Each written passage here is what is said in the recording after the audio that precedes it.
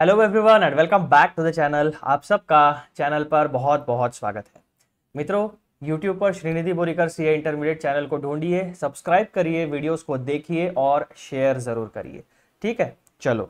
तो जैसा कि आप लोग आपके स्क्रीन पर देख सक रहे हो, यहाँ पर ऊपर मैंने लिखा हुआ है online articleship training a guidance program for the benefit of C students जो हमारा चार्टर्ड अकाउंटेंसी का सिलेबस है C A inter C A foundation C A intermediate and C A final में। उसमें बहुत सारा नॉलेज बेस हमारे लिए तैयार है, लेकिन उस नॉलेज बेस के अलावा भी ऐसी बहुत सारी चीज़ें हैं जो हमें हमारे आर्टिकलशिप ट्रेनिंग के दौरान और चार्टर्ड अकाउंटेंट बनने के बाद या फिर अगर आप चार्टर्ड अकाउंटेंट बनने से पहले कोई जॉब ज्वाइन करते हो after completion of your articleship तो प्रोफेशनल लाइफ यानी स्टूडेंट लाइफ में यानी आर्टिकलशिप ट्रेनिंग में और प्रोफेशनल जॉब में आपको बहुत सारा अदर नॉलेज बेस भी काम में आने वाला है। तो उसी नॉलेज बेस को तैयार करने के लिए आप लोगों को कुछ चीज़ों से अवेयर कराने के लिए हम लोगों ने, यानी मैंने ये article online articleship training program शुरू किया है। ठीक है? अब यहाँ पर आप चैनल पर देखोगे तो आपको ब्लू कलर की दो थंबनेल्स मिलेगी थीम में। वो ब्लू कलर की थंबनेल्स आपकी रहेगी ऑनलाइन आर्टिकलशिप ट्रेनिंग की। इसमें दो वीडियोस हमने अभी तक अपलोड कर लिए हैं। अब उसी सीरीज़ को हम लोग आगे बढ़ाते हुए तीसरा वीडियो रिकॉर्ड कर रहे हैं। ठीक है? चलो। अब मैं आपको लेके चलता हूँ आज के वीडियो के मुद्दे के ऊपर।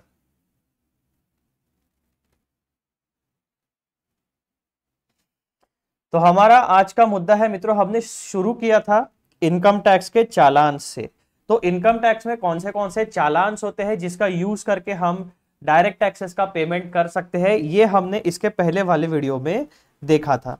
तो हमने क्या किया था? एक कंप्लीट शीट तैयार की थी, एक फ़ाइल तैयार की थी जिसमें हमने कंबाइंडली सारे इनकम टैक्स चालान का डेटा जो हमारे काम का है प्रिलिमिनरी यानी प्राइमरी डेटा वो सब एक जगह पे कंप्लीट कर लिया था। तो वहाँ से हमें पता चला मित्रों कि कुल मिलाकर इनकम टैक्स में एक, दो तीन, चार, पाँच, छ और सात। कुल मिलाकर सात चालान सॉरी और ये आठ।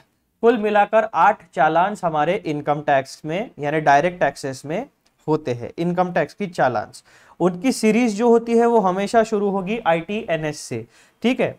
और हमने I T N S two eighty I T N S two eighty one I T N S two eighty two उसके बाद I T N S two eighty three I T N S two eighty four इसी तरीके से series में 285, 286 and 287 तक हम लोगों ने ये सारे के सारे चालान का बेसिक डेटा पढ़ा था। अब इस वीडियो में हम लोग डिस्कशन करने वाले हैं चालान नंबर वन यानी आई टी एन एस दो सौ अस्सी के बारे में। आई टी एन एस दो सौ अस्सी होता है मित्रों इनकम टैक्स का चालान यानी इसका यूज़ करके हम लोग इनकम टैक्स का पेमेंट कर सकते हैं। अब इसमें आप देखो I T N S two eighty में आपको एक कैटेगरी मिलेगी जिसमें लिखा हुआ रहेगा टैक्स एप्लीकेबल। यानी I T N S two hundred and eighty का यूज़ करके आप लोग ये दो प्रकार के टैक्सेस को पे कर सकते हैं। पहला रहेगा आपका code zero zero two zero जो है इनकम टैक्स ऑन कंपनीज़ यानी corporate tax income tax on companies यानी जो भी कंपनीज़ कंपनीज़ एक्ट 2013 के अंडर रजिस्टर्ड है, वो वाली लीगल एंटिटीज। और दूसरा कोड आपका रहेगा 0021 जो है income tax other than companies. यानी जो लीगल एंटिटी होती है, अगर आप कंपनीज़ के लिए टैक्स भर रहे हो तो ये कोड आपको टिक मार्क करना पड़ेगा। और अगर कंपनीज़ के अलावा कोई भी अदर एंटिटी हो गई sole proprietor partnership firm etcetera जितनी भी दूसरी एंटिटीज है, वो सिलेक्ट करना पड़ेगा आपको ये वाला कोड। ठीक है? तो पहली स्टेप क्या करोगे आप? अगर इनकम टैक्स का पेमेंट करना है तो आप I T N S two eighty select करोगे प्रॉपर कोड सिलेक्ट करोगे, इसमें से जो भी आपकी एंटिटी रहेगी, उसके बाद नेक्स्ट स्टेप आपका रहेगा टाइप ऑफ़ पेमेंट अगर आपकी एंटिटी कंपनी है या आपकी एंटिटी अदर देन कंपनी है तो किस तरीके का, कौन से टाइप का आप पेमेंट कर रहे हो, वो सिलेक्ट करना पड़ेगा। क्या आप एडवांस टैक्स पे कर रहे हो, या आप सेल्फ असेसमेंट टैक्स पे कर सकते हो, या आप tax on regular assessment pay कर सकते हो। सर, टैक्स का पेमेंट है। Tax on distributed profits of domestic companies and tax on distributed income to unit holders. यानी I T N S two hundred and eighty का use करके हम लोग इन दो एंटिटीज के टैक्स पे कर सकते हैं इनकम टैक्स डिपार्टमेंट को इन कैटेगरीज में। Advance tax self assessment tax tax on regular assessment surtax tax tax on distributed profits of domestic companies, यानी डिविडेंड टैक्स जो होता है, dividend distribution tax and tax on distributed income to unit holders. तो एक, दो, तीन, चार, पाँच, छः। छह प्रकार के टैक्स का पेमेंट हम I T N S two hundred and eighty को यूज़ करके कर सकते हैं। ये बेसिक बात हो गई आई टी एन एस दो सौ अस्सी की। अब मैं आपको लेके चलता हूँ actual I T N S दो का जो फ़िज़िकल फॉर्म होता है, जो प्रिंटेड फॉर्म होता है वो। ऑनलाइन डिजिटल वाला फॉर्म में आपको नहीं दिखा रहा हूँ, मैं हम लोग प्रिंटेड फॉर्म के ऊपर से आपको पढ़ाएँगे। क्यों? क्योंकि क्या होता है कि जो भी आपका पेमेंट रहेगा I T N S two eighty का, वो आपको इनकम टैक्स ई फाइलिंग के पोर्टल पर जाना पड़ेगा। वहाँ पर अपने अकाउंट डिटेल्स डाल के, यानी पैन कार्ड और पासवर्ड डाल के लॉग इन करना पड़ेगा। फिर वहाँ से सिलेक्ट करना पड़ेगा टाइप टाइप ऑफ़ पेमेंट और फिर ये सारी प्रोसीजर सेम रहेगी। तो वो क्या होता है? प्राइवेसी ब्रीच होती है। अगर मैं आपको किसी का अकाउंट दिखाऊँगा या मेरा खुद का इनकम टैक्स का ई फाइलिंग का अकाउंट दिखाऊँगा तो उसमें ऐसी बहुत सारी सेंसिटिव इंफॉर्मेशन आपको दिख जाएगी, जो मेरी प्राइवेट इंफॉर्मेशन है या किसी और व्यक्ति की प्राइवेट इंफॉर्मेशन है। इसलिए हम लोग डिजिटल फॉर्म को नहीं दिखा रहे। अब आप कह सकते हो कि, सर, आप उसे सेंसर कर दो। लेकिन उसमें होता क्या है कि उसमें मेरा एडिट करने का काम बढ़ जाता है। ठीक है? तो हम लोग क्या करेंगे? आपको जो फ़िज़िकल फॉर्म है, उसमें आप, उससे आपको समझा देंगे। क्योंकि फ़िज़िकल फॉर्म फिलअप करने में और डिजिटल फॉर्म फिलअप करने में स्टेप्स और डेटा का जो इनपुट है जो डेटा के फील्ड्स है, वो आइडेंटिकल है। उसमें बहुत ज़्यादा फ़र्क नहीं पड़ेगा। ये आपका प्रिंटेड पेपर पे फॉर्म रहेगा और जो आप ऑनलाइन पेमेंट करोगे, वो आपको ई पोर्टल पे जाके पेमेंट करना पड़ेगा। और वैसे भी, जो नई जनरेशन है, यानी जो आप लोग हो, वो हमेशा टेक सेवी होती है तो आप लोगों को ज़्यादा टेक्नोलॉजी के बारे में ज्ञान देने की ज़रूरत नहीं है। You know how to use the technology एक बार अगर आप पेमेंट कर दोगे, चालान जनरेट हो जाएगा, फिर आपको पता चल जाएगा कि पेमेंट की प्रोसेस कैसी है। ठीक है, इसीलिए मैं डिजिटली ज़्यादा उसको इंपॉर्टेंस ना देते हुए जो फ़िज़िकल फॉर्म के फॉर्मेट है, उसमें से आपको समझा दे रहा हूँ। फिर देखो, अब पूरा का पूरा फॉर्म जो है वो एक पेज के ऊपर आता है और नीचे हो गए इसके नोट्स तो सबसे पहले उन्होंने यहाँ पर बता दिया। क्या बताया हमें यहाँ पर? Important cheese. Please note please see notes overleaf before filling up the challan यानी ये जो नोट्स है इनको पहले पढ़ लेना, चालान फिलअप करने से पहले इन सारी चीज़ों को पढ़ लेना। लेकिन अभी हम क्या कर रहे हैं? हम पढ़ाई कर रहे हैं। हम एक्चुअल चालान फिलअप नहीं कर रहे तो हम सीक्वेंस में पूरा आपको डेटा में बता दूँगा। तो आपको सबसे पहले फ़ील्ड नंबर वन में दिखेगा इस चालान का हेडिंग हमेशा सारे के सारे चालान जो है नंबर जो है आपको वो यहाँ पे दिखेगा। तो आपका चालान नंबर है I T N S two eight zero फिर आपको सेकंड वाला फ़ील्ड मिलेगा, जो रहेगा आपका टैक्स एप्लीकेबल यहाँ पे क्या लिखा हुआ है? टिक वन, यानी इन दोनों एंटिटीज में से कोई एक एंटिटी के लिए आप पेमेंट कर सकते हो। इसका मतलब क्या हुआ? कि ये जो चालान है, इसमें केवल आप एक ही एंटिटी के बारे में टैक्स पे कर सकते हो और केवल सिंगल टाइप ऑफ़ पेमेंट कर सकते हो। यानी आप एक ही चालान में एडवांस पेमेंट भी कर रहे हो सेल्फ असेसमेंट टैक्स का पेमेंट भी कर रहे हो, ऐसा नहीं चलेगा। अगर आपको एडवांस पेमेंट ऑफ़ टैक्स भी करना है सेल्फ असेसमेंट टैक्स भी पे करना है तो आपको दो अलग अलग चालान फिलअप करने पड़ेंगे। अगर आप फिजिकली सबमिट बैंक में ये चालान फिजिकली सबमिट करोगे बैंक में जाके, ठीक है? तो ये फ़िज़िकल फॉर्म का एक आपको रहेगा। डिजिटली भी आपको एक ही ऑप्शन सिलेक्ट करने देगा। अगर आपको दो तीन टैक्स के पेमेंट करने तो आपको दो तीन बार ट्रांजैक्शन को इनिशिएट करना पड़ेगा। ये बेसिक चीज़ है, ये आपको ध्यान में रखनी है। फिर आप क्या होगे? आई टी आपको पता चल गया। फिर आपने देख लिया कि आपकी एंटिटी कौन सी है? क्या आप कंपनीज़ के लिए इनकम टैक्स पे कर रहे हो या एंटिटीज अदर देन कंपनीज़ के लिए इनकम टैक्स पे कर रहे हो? उस हिसाब से आप क्या करोगे? अपना प्रॉपर टिक मार्क करोगे। जो भी चीज़ आपका एप्लीकेबल है, उस बॉक्स में यहाँ पर टिक मार्क करना है। फिर आप क्या लिखोगे कि आप टैक्स कौन से असेसमेंट ईयर के लिए पे करने वाले हो? तो अभी करंट हमारा फाइनेंशियल ईयर कौन सा शुरू है? एक अप्रैल 2024 से लेकर 31 मार्च 2025 तक का। तो अगर इस साल का हमें सेल्फ असेसमेंट टैक्स पे करना है या एडवांस टैक्स पे करना है तो 2024-25 का असेसमेंट ईयर जो है, वो रहेगा 2025-26 तो इस तरीके से जो आपके लिए एप्लीकेबल है दैट मीन्स जो आपके एंटिटी के लिए एप्लीकेबल है, वो असेसमेंट ईयर आप फिलअप करोगे। तो हमारा field number one field number two और फ़ील्ड नंबर तीन। ये तीन चीज़ें हमने देख ली चालान में। फिर नेक्स्ट इंफॉर्मेशन आपको प्रोवाइड करनी है नंबर चार पर परमानेंट अकाउंट नंबर ठीक है, जो भी आपके एंटिटी का पैन नंबर होगा, वो आप इन बॉक्सेस में कैपिटल लेटर्स में, एक बॉक्स में एक ही लेटर आपको लिखना है। इस तरीके से फिलअप करोगे। फिर आपके पैन कार्ड के ऊपर आपके एंटिटी का जो नाम होगा, वो आपको लिखना है एज इट इज़ जो भी पैन कार्ड पे कैपिटल लेटर्स में होगा, कैपिटल लेटर्स में, स्मॉल लेटर्स में होगा, स्मॉल लेटर्स में जिस तरीके से एक पैन कार्ड पे छपा हुआ है, उसी एग्जैक्ट तरीके से आपको यहाँ पर फुल नेम लिखना है। जो उसके बाद नेक्स्ट डेटा फ़ील्ड अगर आपका मैच नहीं होता है ये तो हो सकता है कि चालान रिजेक्ट हो जाए। तो इसीलिए जब भी आप पैन कार्ड की इंफॉर्मेशन कोट करते हो तो as it is hundred percent same आपको इंफॉर्मेशन वहाँ पे देनी पड़ेगी। फिर नेक्स्ट डेटा फ़ील्ड आती है हमारी complete address with city and state तो यहाँ पर आपको हमेशा अपना अपडेटेड एड्रेस डालना है ताकि इनकम टैक्स से जो भी कम्युनिकेशन आपको आएगा, वो आपके अपडेटेड करंट एड्रेस के ऊपर आएगा। और आपको ये इंश्योर करना है कि आपके आधार कार्ड का एड्रेस और आपके पैन कार्ड का जो रजिस्ट्रेशन किया था आपने, तब जो एड्रेस दिया था उसके बाद आपके ई फाइलिंग पोर्टल पे जो एड्रेस आपने डाला हुआ है प्रोफ़ाइल में, ये तीनों एड्रेस सेम रहे। अगर ये तीनों एड्रेस सेम नहीं है तो आपके अकाउंट में या आपके पैन कार्ड पर कुछ प्रॉब्लम्स आ सकते हैं with respect to communication with income tax department तो ये तीनों जगह पे एड्रेस हमेशा आइडेंटिकल रखना है, हमेशा अपडेटेड रखना है। तो आपने पूरा एड्रेस भी यहाँ पर सिंगल बॉक्स में सिंगल लेटर लिखना है, सारा का सारा कैपिटल में लिखना है। उसके बाद आप अपना कॉन्टैक्ट नंबर जो आपका करंट कॉन्टैक्ट नंबर है मोबाइल नंबर जो आपने पैन कार्ड रजिस्ट्रेशन में दिया था, जो आपने आपके ई फाइलिंग अकाउंट में डाला हुआ है, और जो आप अपने आईटीआर में फिलअप करोगे, वही फ़ोन नंबर आपको यहाँ पर देना पड़ेगा। उसके बाद आपके सिटी का जो पिन कोड होता है, जो एरिया का पिन कोड होता है, वो। फिर हो गया हमारा ये बेसिक इंफॉर्मेशन यहाँ पर मैं नंबरिंग कर ही देता हूँ ना। ये field number one field number two field number तीन, ये नंबर चार, पाँच, छ। छह डेटा फील्ड्स में हमने डेटा फिलअप कर दिया। अब हमारा सॉरी छ के बाद आपका आता है ये सात और ये हो गया आपका आठ। आठ जगह पर डेटा हमने फिलअप कर दिया है।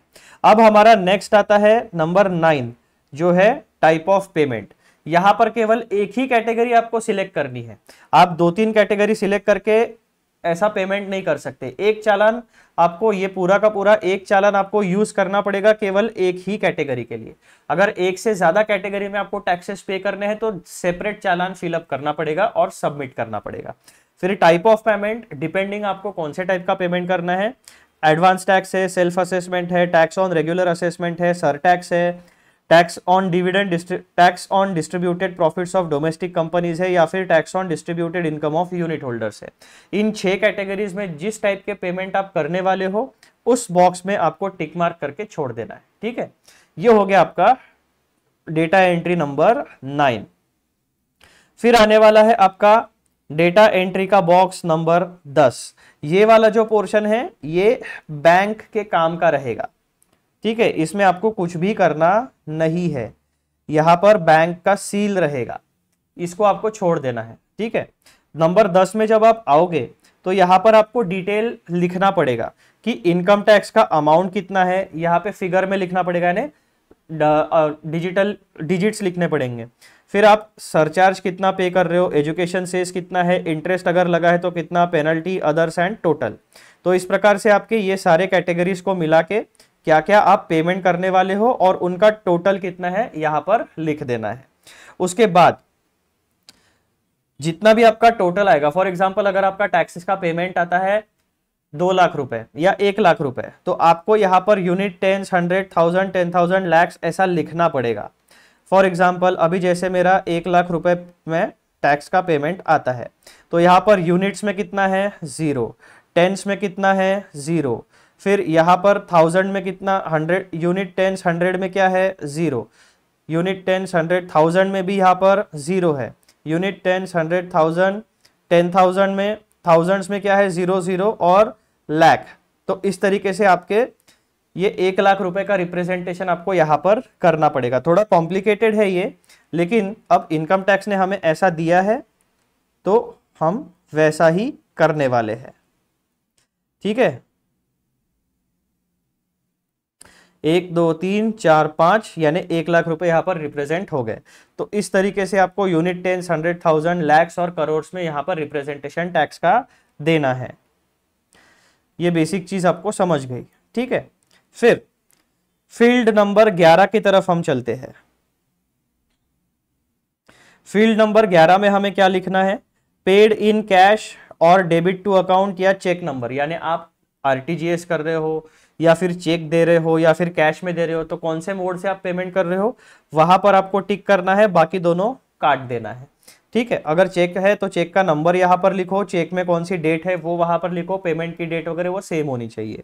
फिर, कौन से बैंक पे आप चेक ड्रॉ करते हो, उस बैंक का नाम लिखना पड़ेगा। ठीक है जी? और यहाँ पर ब्रांच का नाम लिखना पड़ेगा। सिमिलरली डेट लिखोगे आप और जो भी व्यक्ति आपका टैक्स डिपॉजिट करने जाएगा, उसका वहाँ पर सिग्नेचर होना चाहिए इस बॉक्स में। तो ये बेसिक इंफॉर्मेशन आपको 11 में। अब ये सारी चीज़ें मैंने एक ही इसमें कर ली, ठीक है? ये आपका बॉक्स नंबर 11 हो गया। अब नीचे आती है, अब यहाँ तक का जो भी आपका इंफॉर्मेशन आपने फिलअप की है, यहाँ तक की जितनी भी आपकी इंफॉर्मेशन आपने फिलअप की है फ़ील्ड नंबर 11 तक की वो बैंक के लिए इंपॉर्टेंट है। अब नीचे की जो रिसिट है, वो आपको रखनी है, यानी वो आपको फाड़नी पड़ेगी। ठीक है? तो वो फाड़, आपको प्रॉपर कट करके आपके पास रखनी पड़ेगी। उसको भी सिमिलर फॉर्मेट में आपको फिलअप करना है। क्या क्या डालोगे आप अपने काउंटर फॉइल में? पैन नंबर डालोगे। ठीक है? रिसीव फ्रॉम जो, जिस व्यक्ति ने डिपॉजिट किया या जिस व्यक्ति के नाम पे आप ये पैन नंबर पैन कार्ड पे जिस व्यक्ति का नाम है, उस व्यक्ति का नाम यहाँ पर लिखना है। सिमिलरली चेक नंबर ठीक है, कितने रुपए का आपने दिया? Amount in rupees and drawn on bank और यहाँ पर ब्रांच का नाम आपको लिख देना है, ठीक है? और फिर जो ऊपर में यहाँ पे हमने टिक मार्क किया था ये वाली फील्ड्स पे, वो सिमिलर फील्ड्स हमें यहाँ पर नीचे रेफर हमारे रेफरेंस के लिए टिक मार्क कर देनी है, ठीक है? ऑन अकाउंट ऑफ़ कंपनी है या अदर देन कंपनी है, जो भी एप्लीकेबल होगा, वहाँ पर टिक करोगे अदर को स्क्रैच करके काट दोगे, ठीक है? क्योंकि यहाँ पर लिखा हुआ है। फिर income tax on type of payment income tax on लिखोगे टाइप ऑफ़ पेमेंट यानी यहाँ पर जो आपने लिखा हुआ है ना, जिस बॉक्स में आपने टिक किया है वो सिमिलर एडवांस टैक्स ब्रैकेट में हंड्रेड वैसा ही आपको सिमिलरली यहाँ पर लिखना है। यहाँ पर आपको लिखना पड़ेगा असेसमेंट ईयर जो हमने यहाँ पर ऊपर में लिखा था सेम असेसमेंट ईयर आपको लिखना है। एंड अभी आपका फाइनल हो गया है। फिर आप ये पूरा का पूरा डेटा फिलअप करके जब बैंक में ये सबमिट करने जाओगे, यानी स्पेशली डेजिग्नेटेड बैंक्स होती है, उन्हीं बैंक्स में जाकर आप इस टैक्स का पेमेंट कर सकते हो। हर एक बैंक टैक्स का पेमेंट एक्सेप्ट नहीं करेगी। तो आपको वो देखना पड़ेगा कि कौन से ब्रांचेस में टैक्स का पेमेंट, इनकम टैक्स का पेमेंट एक्सेप्ट होता है। ठीक है? तो ये सारा का सारा डेटा फिलअप करके आप जाओगे उस काउंटर पर जहाँ पर इनकम टैक्स एक्सेप्ट होता है, वो आपका सारा डेटा चेक करेगा। यहाँ पर भी सील देगा आपको। जो बैंक खुद रखेगा, वहाँ पर भी सील लगेगा। और जो कॉपी आपको देने वाले हैं, वहाँ पर भी आपके बैंक का सील मार के, यानी ये सील रिप्रेजेंट करेगा कि हाँ उसने चेक कर लिया है, ये एक्स फिजिकली एक्सेप्ट हो गई है। अब वो फिजिकली इस एक्सेप्ट किए गए काउंटर फ़ाइल को अपने सिस्टम में जब अपलोड करेगा, तब आपको पेमेंट हो जाएगा आपका। इस, अब जैसे कि हमने यहाँ पर चेक सिलेक्ट किया है, ठीक है? तो यहाँ पर इस चालान के साथ आपको जोड़ना पड़ेगा चेक प्रॉपरली फिलअप किया हुआ, उसमें भी अमाउंट सिग्नेचर डेट किसको देना है, वो सारे अकाउंट का नाम आपको सब कुछ तरीके से प्रॉपरली या तो उसको आपको पेपर पिन लगाओ या स्टेपल करके उस व्यक्ति को सबमिट करना पड़ेगा। यानी जब भी आप चालान फिजिकली बैंक में जाके सबमिट करोगे किसी ब्रांच में तो आपको चेक देना पड़ेगा या कैश देनी पड़ेगी इस चालान के साथ। ठीक है तो दो चीज़ें हमेशा जाएगी। चालान या चेक चालान चेक या चालान और कैश या फिर चालान और बैंक अकाउंट से अगर आप पेमेंट करते हो तो उस तरीके से जो debit to bank account number लिखा हुआ है। अब हम इंपॉर्टेंट इंफॉर्मेशन को पढ़ने आते हैं, जो इस चालान को फिलअप करने के लिए ज़रूरी है समझना। वो है नोट्स तो पॉइंट नंबर वन क्या कहता है वो? Please use separate challan for each type of payment यानी ये जो टाइप ऑफ़ पेमेंट है यहाँ पर। आप एक चालान केवल एक ही कैटेगरी का पेमेंट यूज़ करने के लिए पे करने के लिए यूज़ कर सकते हो। ठीक है, अगर आपको एडवांस टैक्स भी देना है, अगर आपको टैक्स ऑन ये भी देना है तो आपको दो सेपरेट चालान भरनी पड़ेगी और सबमिट करनी पड़ेगी। एक चालान में एक ही तरीके का टैक्स का पेमेंट होगा। उसके बाद पॉइंट नंबर टू क्या कहता है? Please note that quoting your permanent account number is mandatory, यानी विदाउट पैन नंबर दिए आपका चालान एक्सेप्ट नहीं होगा, टैक्स का पेमेंट नहीं होगा। दिस इज़ मैंडेटरी क्योंकि इनकम टैक्स का सारा डेटा पैन नंबर से ही चलता है। फिर तीसरा नोट क्या कहता है? Please note that quoting false PAN. May attract penalty of rupees 10000 as per section 272b of income tax act 1961 तो यहाँ से आपको इनकम टैक्स एक्ट के पेनल्टी की एक प्रोविज़न बेसिक पता चल गई। क्या? कहीं पर भी।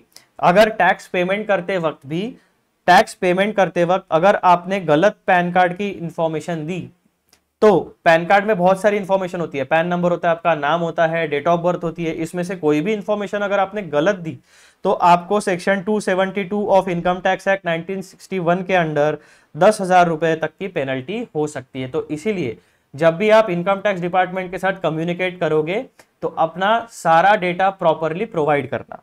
उसके बाद नोट नंबर चार क्या कहता है? Please note that deposit to appeal fees that to sorry please note that to deposit appeal fees either major head 020 or 021 depending upon the taxpayer status has to be ticked under tax applicable followed by this minor head self assessment tax अब यहाँ पर यह कहता क्या है कि जब अगर आपको अपील की फ़ीस डिपॉजिट करनी है, यानी आपका इनकम टैक्स में केस लगा, वो केस का डिसीज़न आया, फिर आपने अपील की तो ऐसे जो अपील करने के लिए जो फ़ीस पे करनी पड़ती है तो सबसे पहले आप क्या करोगे? मेजर हेड जो है आपका, वो आइदर आप कंपनी रहोगे या स्टेटस आपका जो रहेगा एंटिटी का, वो अदर देन कंपनी रहेगा। इसे कहा जाता है मेजर हेड तो मेजर हेड में से अपना एक कोई भी सिलेक्ट कर लेना आप आइदर कंपनीज़ और दिस उसके बाद, अब आप देखोगे कि अपील फ़ीस नाम का कोई हेड हमारे माइनर हेड में नहीं है। तो ये जो अपील फ़ीस है, वो आपकी पे होगी सेल्फ असेसमेंट टैक्स के अंडर ठीक है? तो ये बेसिक चीज़ आप याद रखना। अगर आपको अपील की फ़ीस देनी है तो यहाँ पर depending on your entity tick mark कर देना कंपनी या एंटिटी अदर देन कंपनी जो भी होगी। और ये जो कोड नंबर 300 है माइनर हेड में यहाँ पर सिलेक्ट करना और आपकी अपील की फ़ीस पे हो जाएगी। ठीक है? ये बेसिक चीज़ है, एक अलग पॉइंट है, ये याद रखना हमेशा। And the amount is to be filled under others in details of payments तो तीन जगह पे आपको सिलेक्शन करना है। मेजर हेड सिलेक्ट कर लो प्रॉपरली माइनर हेड हमेशा आपको सेल्फ असेसमेंट टैक्स यानी कोड नंबर 300 वाला सिलेक्ट करना है in case of appeal fees और जो पेमेंट रहेगा आपका amount is to be filled under others in details of payments यानी, ये जो डिटेल्स ऑफ़ पेमेंट है, ये वाला पोर्शन यानी फ़ील्ड नंबर दस, यहाँ पर आपको इन सारे चीज़ों में कोई, कहीं पे भी इंफॉर्मेशन नहीं डालनी है, जो अदर वाला फ़ील्ड है, यहाँ पे आपको अमाउंट डालनी है। तो सेल्फ असेसमेंट जब आप सेल्फ सॉरी अपील फ़ीस की जब आपको पेमेंट करनी है तो आपको हमेशा I T N S two eighty use करना है। मेजर हेड में प्रॉपर एंटिटी के हिसाब से टिक मार्क करो और जो माइनर हेड है आपका, उसमें हमेशा आपको सेल्फ असेसमेंट टैक्स ही सिलेक्ट करना पड़ेगा और पेमेंट करते वक्त यहाँ पर अदर्स, हमेशा अदर्स में ही आपको पेमेंट करना पड़ेगा। फिर, पॉइंट नंबर पाँच क्या कहता है? To deposit taxes, appeal fees etcetera in respect of block period cases enter the first assessment year of the block period followed by the last assessment year of the period अब होता क्या है कि block period ये concept आपको समझना पड़ेगा। ये क्या कहते हैं? टू डिपॉजिट टैक्सेस और appeal fees etcetera in respect of block period cases block period यानी एक साथ दो तीन साल की अगर आपकी केसेस लगती है, उससे रिलेटेड आपको कोई टैक्स पे करना है या अपील फ़ीस पे करनी है तो कैसा करोगे? हर बार अलग अलग चालान तो पे नहीं करोगे तो वहाँ पे आपको एक छोटा सा सोल्यूशन इन्होंने दे दिया है। ब्लॉक पीरियड यानी एक साल से ज़्यादा के अपील या एक साल से ज़्यादा, यानी दो तीन साल का टैक्स पे करना है, या फिर अगर आपके दो तीन साल की केस स्क्रूटिनी में लगी है तो उन दो तीन साल की अपील फ़ीस आपको अगर पे करनी है एक साथ तो आपके लिए ऑप्शन दिया है। वो ऑप्शन कैसा है? Enter the first assessment year of the block period followed by the last assessment year of the block period for example if the block period is एक चार 1985 to five three nineteen ninety six यानी जो block period है जिस जिस period की cases लगी है वो अगर 1985 से लेकर 1986 तक है तो 85, 86, 87, 88, 89, 90 91, 92, 93, 94, 95, 96 ऑलमोस्ट नौ साल के केसेस अगर आपके लगते हैं तो ऐसे केस में आप क्या करोगे? नौ चालान भरोगे? नहीं। तो ये क्या कहते हैं कि आपका पहला फ़र्स्ट असेसमेंट ईयर जो रहेगा उसका ईयर आप डालोगे और लास्ट असेसमेंट ईयर जो रहेगा उसका ईयर आप असेसमेंट ईयर में लिखोगे। It would be entered as तो अभी ये 85, 86 जो फाइनेंशियल ईयर रहेगा उसका असेसमेंट ईयर क्या रहेगा? 86, 87 तो 80 1986 आपको लिखना है और 96 97 का जो 97 आखिरी वाला है वो आपको लिखना है। तो यहाँ पर अगर आप ब्लॉक पीरियड के बारे में टैक्स पे कर रहे हो या अपील फ़ीस भरने वाले हो तो यहाँ पर आप क्या लिखोगे? 1986 टू 97 ये पूरे पीरियड का हम लोग टैक्स पे करने वाले हैं। ये हो गया आपका ब्लॉक पीरियड के बारे में information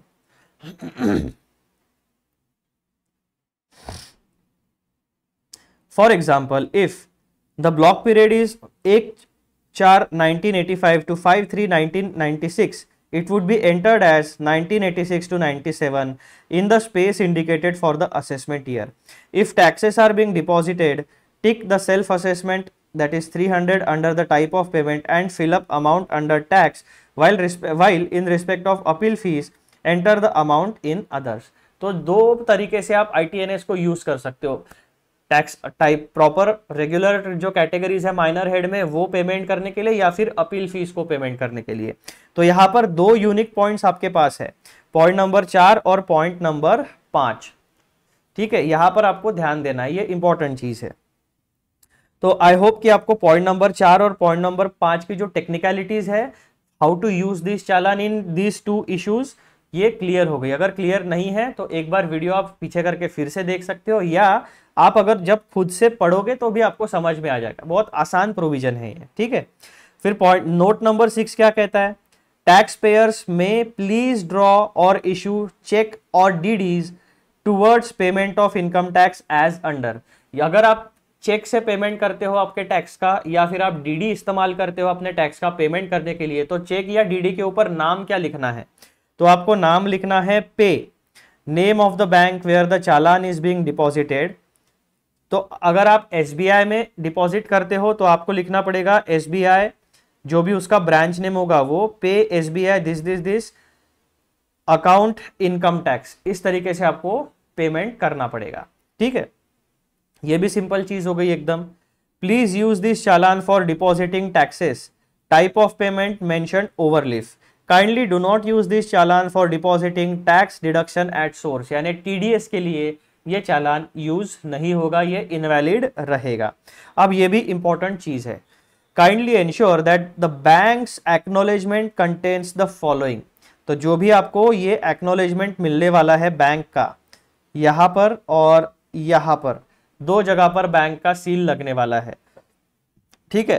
तो सबसे पहला जो है ना, आपको ये वाला जो है टैक्स पेयर काउंटर फॉइल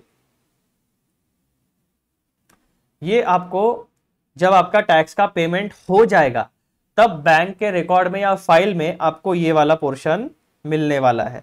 यहाँ पे आप बैंक का सील रहेगा और उस सील के ऊपर कुछ इंफॉर्मेशन है, वो इंफॉर्मेशन आपको काम में आने वाली है जब आप अपना इनकम टैक्स का रिटर्न फ़ाइल करोगे। जब आप अपना इनकम टैक्स का रिटर्न फ़ाइल करोगे आफ्टर पेमेंट ऑफ़ टैक्स तो आपको ये point number one two three ये तीनों इंफॉर्मेशन आपको अपने इनकम टैक्स रिटर्न में कोट करनी पड़ती है, तभी आपका इनकम टैक्स रिटर्न कंप्लीट माना जाएगा। ठीक है? अदरवाइज़ कंप्लीट नहीं माना जाएगा। Kindly ensure that bank acknowledgement contains the following हमेशा जो बैंक से आपको पेमेंट का एक्नोलेजमेंट मिलेगा, उसमें तीन डेटा हमेशा होना चाहिए। पहला seven digit BSR code of the bank branch ये बहुत इंपॉर्टेंट होता है। फिर date of deposit of challan. इस date date month D D M M Y Y format में डेट होनी चाहिए। डिपॉजिट ऑफ़ चालान कौन से डेट को हुआ? और नंबर तीन, चालान सीरियल नंबर ये तीनों चीज़ें जब आप अपने टैक्स का क्रेडिट क्लेम करते हो अपने आईटीआर में आइधर टीडीएस सेक्शन में या फिर सेल्फ असेसमेंट या फिर एडवांस टैक्स में तो आपको वहाँ पर ये तीन डेटा प्रोवाइड करना पड़ेगा। दिस इज़ मैंडेटरी इन तीन में से अगर आपने एक भी डेटा प्रोवाइड नहीं किया तो आपको टैक्स का क्रेडिट नहीं मिलेगा। ठीक है? This will have to be quoted in your return of income तो आई टी आर वन से लेकर आई टी आर सेवन जो भी आपके लिए एप्लीकेबल होगा, उसमें हमेशा आपको ये तीन चीज़ें बतानी पड़ेगी। अगर आपको आपके पे किए गए टैक्स का क्रेडिट चाहिए तो। तो मित्रों, ये था basic discussion regarding challan number I T N S two eighty अब इसमें भी आपको बहुत सारी बातें पता चली। एक्चुअल लाइफ में अगर आप फिजिकली कोई चार्टर्ड अकाउंटेंट या कोई कंपनी आपको फिजिकली टैक्स डिपॉजिट करने भेजती है, आजकल डिजिटल पेमेंट ही हो जाता है। लेकिन इन केस अगर आपको फिजिकली चालान डिपॉजिट करने के लिए भेजा तो आपको पता होना चाहिए कि चालान किस तरीके से वर्कआउट होता है। और I T N S two eight zero में दो यूनिक पॉइंट्स है। वो है पॉइंट नंबर चार और पॉइंट नंबर पाँच नोट्स में। पॉइंट नंबर चार आपको कहता है अपील फ़ीस किस तरीके से पेमेंट करना है? और पॉइंट नंबर पाँच आपको कहता है कि ब्लॉक पीरियड का टैक्स किस तरीके से आप पे करोगे? या ब्लॉक पीरियड की अपील फ़ीस आप किस तरीके से पे करोगे? तो ये पूरा का पूरा नॉलेज बेस है regarding I T N S two eight zero and this is the end of this video ठीक है मित्रों? जाने से पहले एक छोटी सी रिक्वेस्ट चैनल को ज़रूर ढूंढिए सब्सक्राइब करिए वीडियोस को देखिए शेयर करिए और लाइक ज़रूर करिए। चलो, अगले वीडियो में मिलते हैं। इसी सीरीज़ में आईटीएनएस जो भी चालान नंबर रहेगा, वो। ठीक है मित्रों? चलो बाय बाय आई होप आपको ये वीडियोस काम में आएँगे ड्यूरिंग योर आर्टिकल आर्टिकलशिप अभी तो हमारी शुरुआत है। अभी हम लोगों ने शुरू किया है तो बेसिक बेसिक चीज़ें शुरू करेंगे, फिर धीरे धीरे हम लोग और आगे बढ़ेंगे। जो चीज़ें हमारे C A foundation C A intermediate और सी ए फाइनल के सिलेबस में नहीं है, जो किताबों में हमने नहीं पढ़ा, लेकिन हमारे चार्टर्ड अकाउंटेंसी के फ़ील्ड में एप्लीकेबल है, जिसका नॉलेज हमें होना चाहिए। ऐसे बहुत सारे videos regarding income tax regarding GST regarding आपका कंपनीज़ एक्ट रिगार्डिंग ऑडिटिंग बहुत सारी चीज़ें आपके लिए आने वाली है धीरे धीरे इस चैनल के ऊपर। तो इसीलिए चैनल को ज़रूर सब्सक्राइब करिए ताकि आपको नोटिफिकेशन एकदम सही समय पर मिल जाए। चलो, मिलते हैं अगले वीडियो में। तब तक के लिए बाय बाय टेक केयर पढ़ाई भी करना है और रिवीजन भी करना है। Revision is must